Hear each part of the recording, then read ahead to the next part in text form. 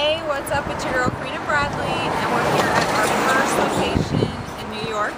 And I just got done, got my face beaten uh, by Tinisee. Beat to the gods. Beat to the gods for you. So I hope you can appreciate that I took a beating for you. Exactly. And we are gonna start shooting really soon here, hopefully. Um, it was kind of a journey getting over here, a little bit of a, a mission. You know, I think it's uh, I think Harlem was having like a national yard like like uh, party. Yeah. That's It, basically what it, it was. seemed it because there was a lot of glitter going on, a lot right? of shiny stuff. a lot of going shiny on, stuff, a lot of ill-dressed women. Yes. But a whole bunch of music. So uh, you, know, You saw that? You saw finally here, and I think know we should kind of We're- be in and out yes, once we yes. get started. In and out, and then into the studio, so we get some nice beauty shots in. It's gonna look gorgeous. Um, more, there's gonna be more beating and more heat being added. It's gonna be fabulous, amazing, and fantastic. Phenomenal.